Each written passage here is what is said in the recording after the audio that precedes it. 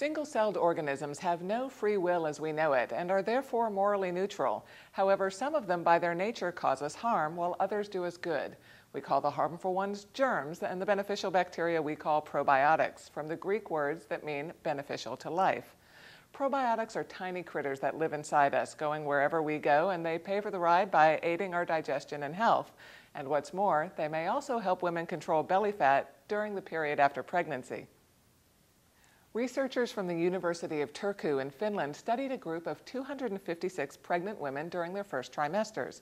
The group was subdivided into three groups. Women in one of the groups received dietary counseling and capsules containing the probiotic bacteria Lactobacillus and Bifidobacterium. The second group also got the counseling plus a selection of healthful foods to take home, but received placebo capsules. And the third group just got the placebo and nothing else. One year after giving birth, women in all three groups were measured and weighed. The results? 25% of the women who had been given the probiotics and the counseling were obese, but 43% of the women who got only the counseling had become obese, as had 40% of the women who got neither probiotics nor dietary advice. So, do probiotics help fight belly fat? Researchers behind these findings think so, but stress the need for further study before definitively ruling on the question. It's also unknown what effect, if any, probiotics may have on the health of unborn children. As always, if you're pregnant, consult your obstetrician before making any dietary or lifestyle changes. In our next story, Mississippi has long suffered with high obesity rates among its citizens, by some counts the highest obesity rates in the nation.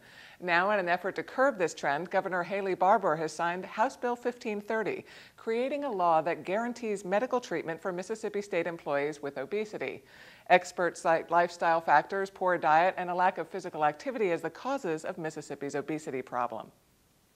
The Magnolia State has long had one of the highest records of heart disease and other obesity related illnesses of any state, and dietary choices are almost certainly part of the reason why.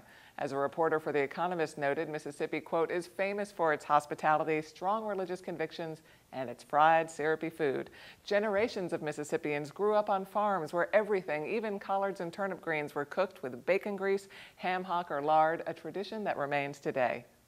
The state employee health plan will now be required to cover medically supervised weight management programs as well as bariatric surgery for a limited number of employees.